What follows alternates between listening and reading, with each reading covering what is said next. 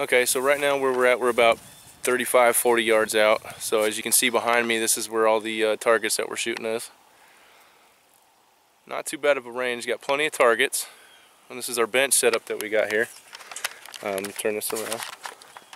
This is our bench setup. This is my uh, this is my Glock 19 Gen 4. All the ammo I have.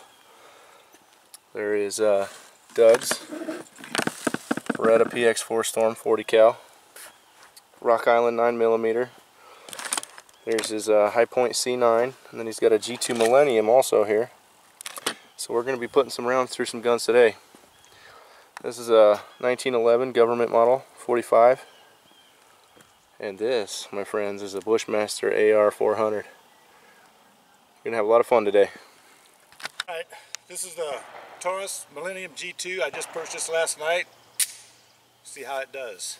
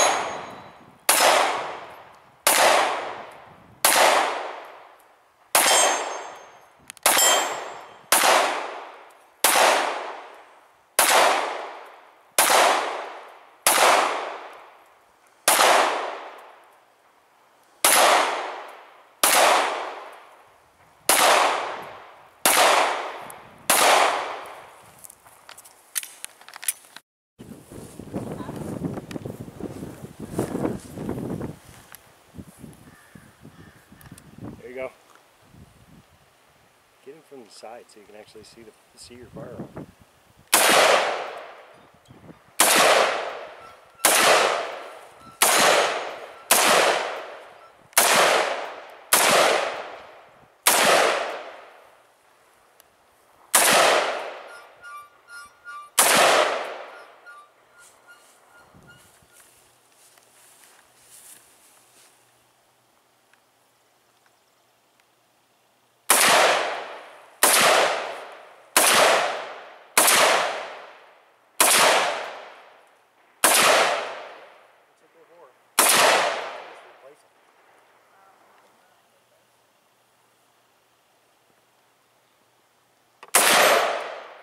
Practice.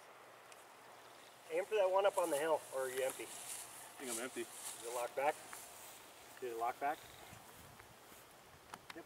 This is a nice range to uh, record that stuff at too. Yeah.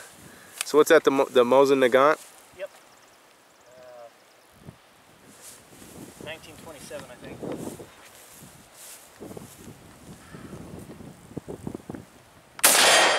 Jesus. The fucker's loud. I do not have ear things in. Sorry. Give me a second. Alrighty. Good. Yep. Jesus. Just let me know which one you're aiming for before you shoot it. That way I can kind of put that uh, target in sight with the gun. Sure. Uh, very top.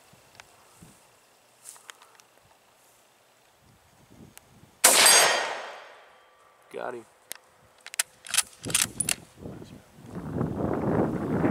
Lower gong.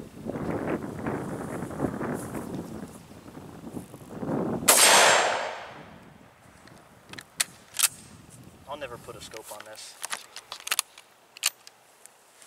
I like it too much. Wow. Here we go. Nice. That's the reason why everybody likes Tannerite.